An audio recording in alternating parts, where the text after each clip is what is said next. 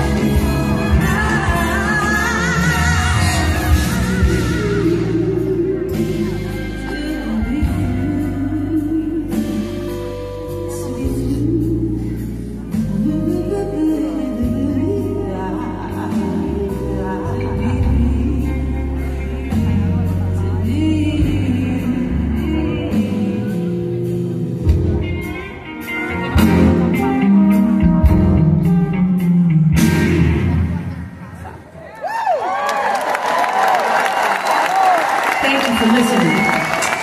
Big change in this world.